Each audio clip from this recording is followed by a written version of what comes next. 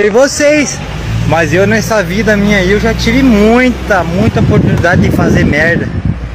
E acredite se quiser, não desperdicei nenhum, uma cagada em cima da outra.